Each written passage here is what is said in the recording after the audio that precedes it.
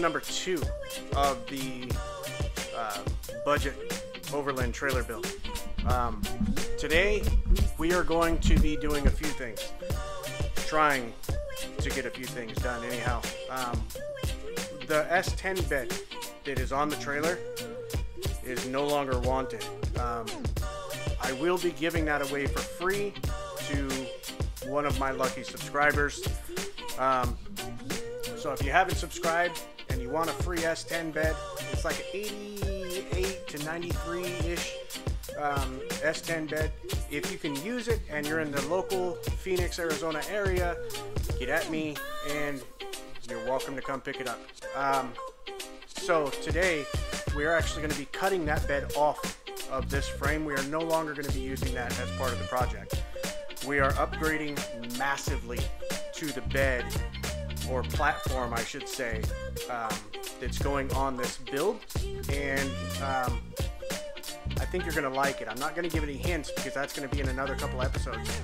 But for now, um, we're going to get this bed off of the frame and uh, we're going to paint the frame and we're going to try to get this thing ready to put what new piece of equipment is going to be going on it. So, so if you haven't seen episode one, go back and watch that one first. It's a very, very short five minute video. Just shows you the trailer itself and what it's about.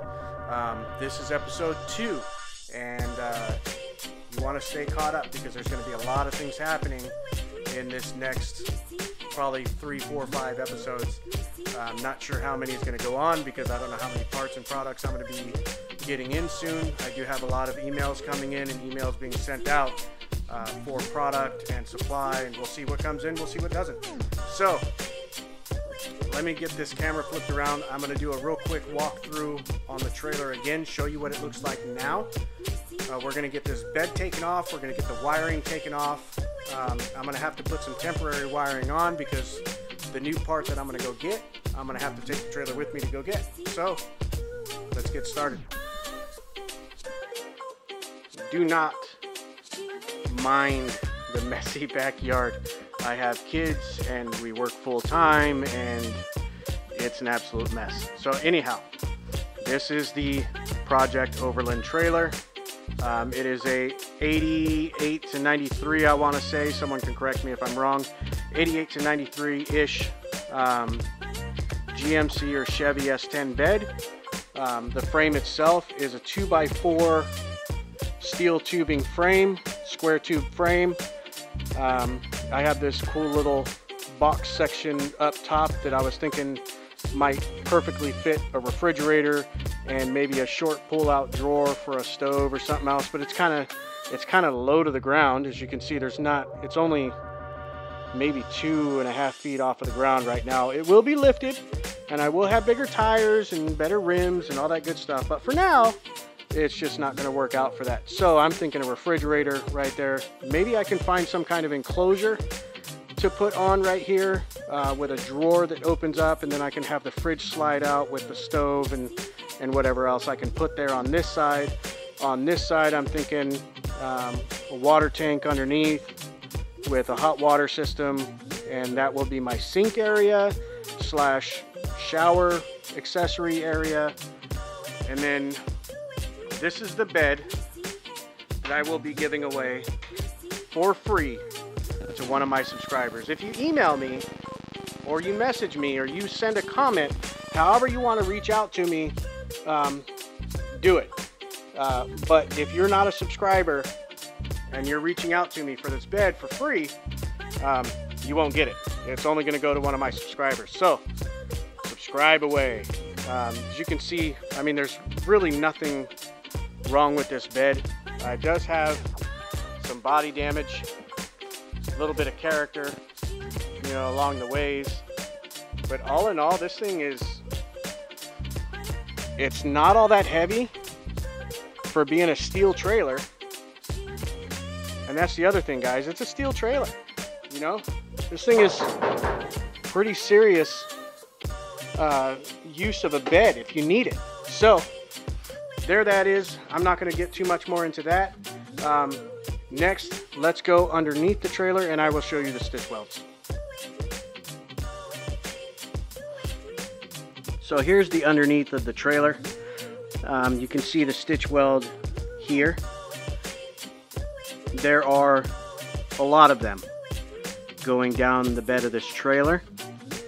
Um, so what I'm going to do is I'm just going to get you set up somewhere in the middle and uh, we'll do a fast forward throughout this whole process and I'm just going to start cutting away. Uh,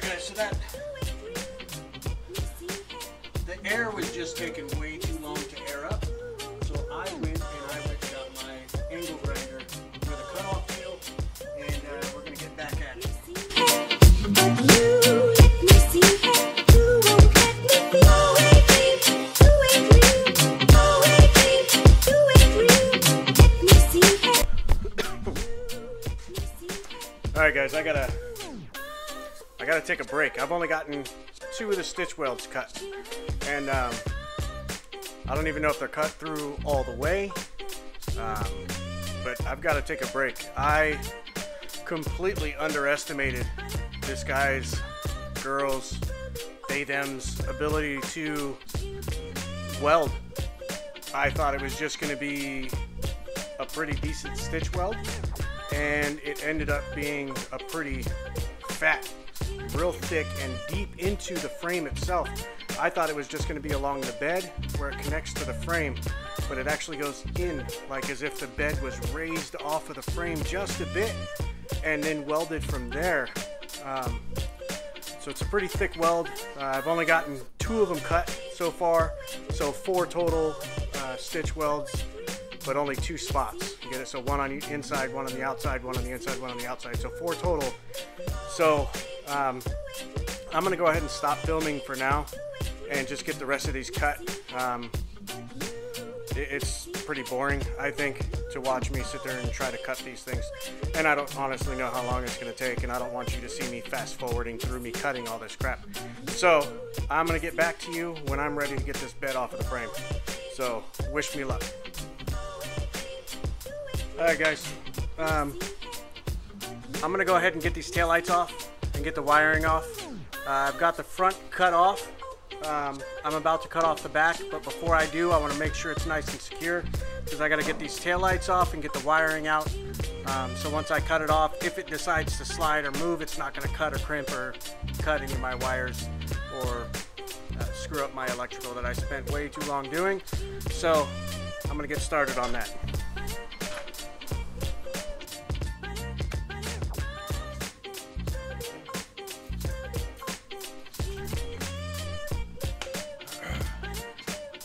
You doing, everybody? This is day two of the trailer Overland build. Um, so day one, uh, we got the bed taken off. Uh, took way longer than what I thought it was going to take. Um, definitely underestimated the builder of said unit. So we're going to take off all the surface rust we're going to repaint this frame so when we go to pick up our new platform, we don't have to worry about painting it once the new platform is already on the frame. So I'm not sure if we have to weld on the new platform or if I can bolt it on or if there's different options. I don't know. I won't know until I actually get the platform that's going on here to see how it's doing. Um, so I'm going to go ahead and fast forward all of this. You don't need to see me grinding for two hours on a trailer. I was gonna powder coat it and do all kind of cool stuff, but the powder coating is minimum three weeks out, and uh, just just to get it in, and then who knows how long to get it back. So I don't want to wait that long. So I'm just gonna throw some paint on it, and uh, it's gonna get all screwed up and messed up going off road anyhow. So I'm not real too worried about it. So we're gonna get some paint on this frame, and then we're gonna go get our platform, and then you will see what's gonna be going on here. So stay tuned. I'm gonna go ahead and get this cleaned up, get it painted, and we will get back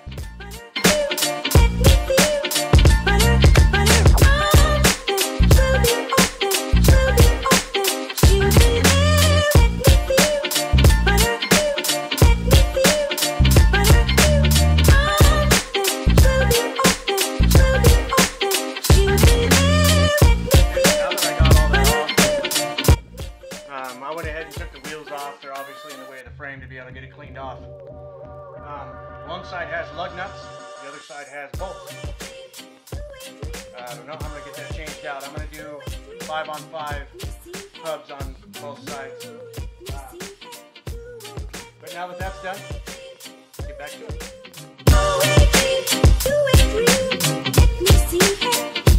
You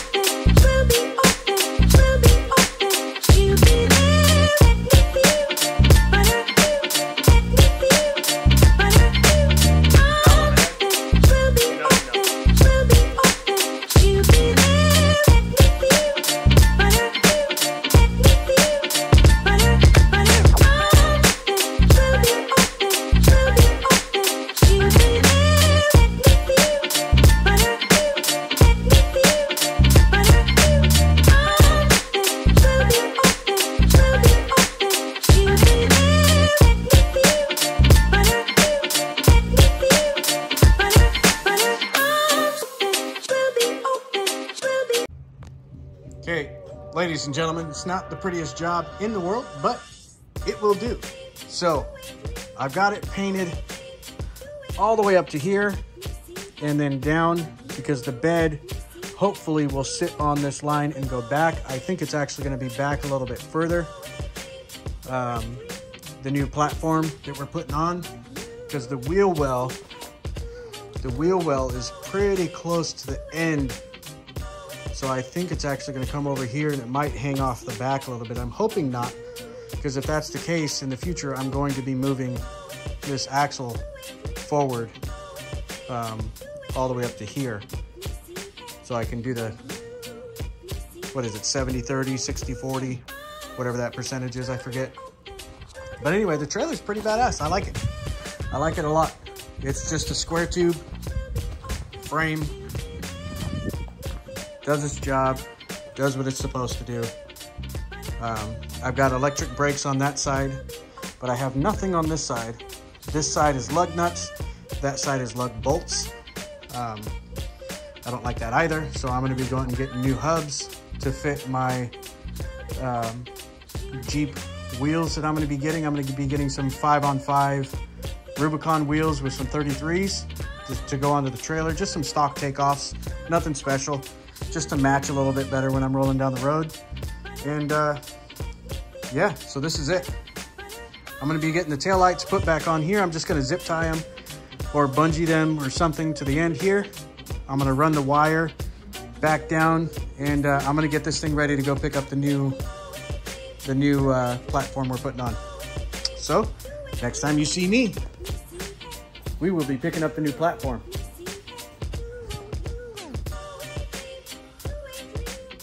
Going on, Urban Off Road? Do not mind the mess. Um, this is day four or five, lost track of this trailer build. And um, I've been running around like a madman trying to find all the parts that I need to get this done in a timely manner and also get a video posted that you guys will actually like to watch. Um, a lot of things have been going on with my trailer build. Um, it's uh, behind me here. As you can see, I've got the new platform on. Uh, hopefully you can't really tell what it is right now, but I've got the new platform on. Uh, I got, I had to go and get a new axle for underneath. I got to get new leaf spring perches uh, to move the axle forward a little bit to match the new bed. And also the axle is five on four and a half. And I've got a four and a half to five on five spacer adapter. And it doesn't work. Um, because it is a hub-centric spacer, the, uh, the hub-centric part, the part that likes to fit nice and snug in the hub, um, is too small. I need a 71 millimeter bore to match the Gladiator bore, and this one has like a WJ bore. So um, it's just not gonna work out for me. I tried to, as you can see with the markings and everything, I tried to mill it out and get rid of that hub-centric part because I don't need it and honestly it serves no purpose anyways. So um, I've been doing what I can on this trailer, but let me show you what I've got so far.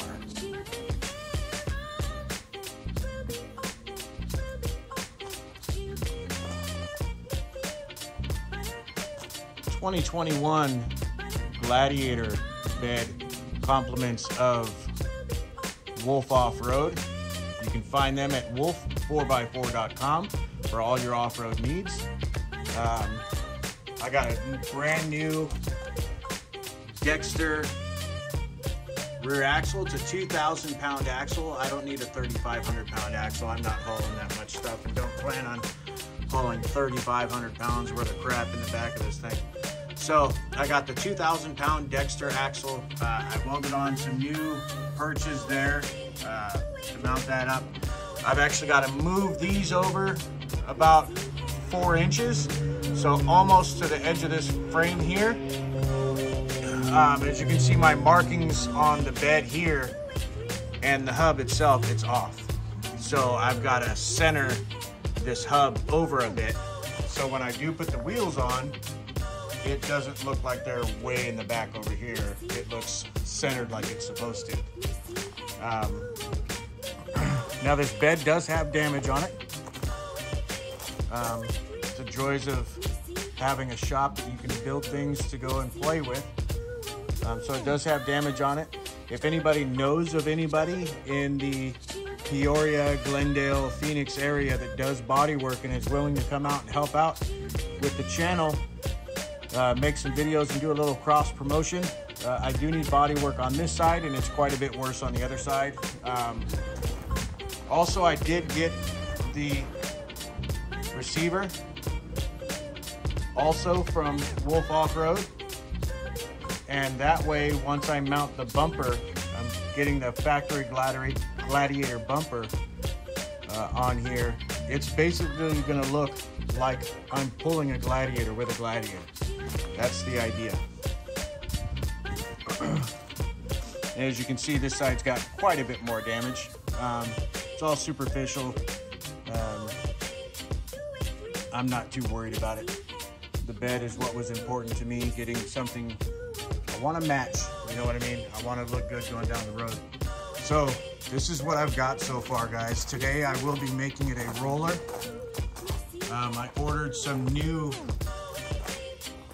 uh, hub spacers to go from the four on five on four and a half to five on fives, but they are not hub centric and they are 71.2 millimeter bore.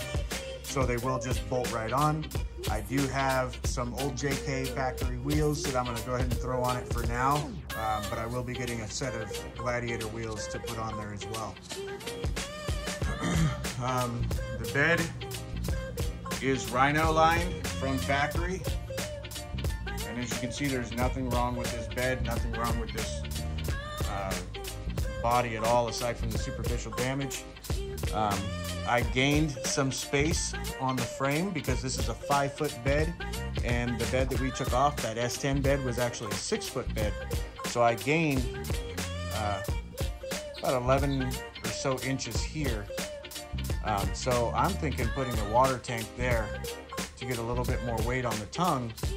And then I'm gonna have a full drawer system pull out with the refrigerator, stove, and all that good stuff is all gonna be up here. And then back here, I wanna put a deck uh, system back here for all the gear, camping gear, stuff like that. And uh, I'm gonna get a service body cab on the top of it, I'm thinking. Um, either that or I'm just gonna get a tailgate and call it a day. But all in all, guys, this is where I'm at so far. Sorry I haven't been filming. Um, the uh, with everything going on, it just it just wasn't working out. So all right, guys, I appreciate you sticking with me throughout this video. On the next episode, we will be having this trailer be a roller. Um, I will get the wheel spacers today, actually, so when this video posts, um, it should already be a roller, and I will have the film all ready for that. Um, but it's Friday, and these videos got to go up, otherwise you guys don't want to watch them. I don't know what Friday is, but Friday's a big day for you guys. So uh, I'm going to post this video way that it is now. And uh, next week's video, it will be a roller. The bed will be fully mounted.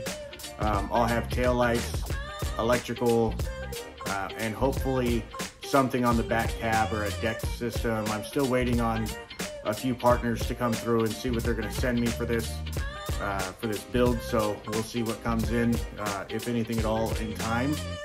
And uh, we'll go from there. Remember, as always, to like, comment, share, and subscribe. And um, thank you guys, and I'll see you next time.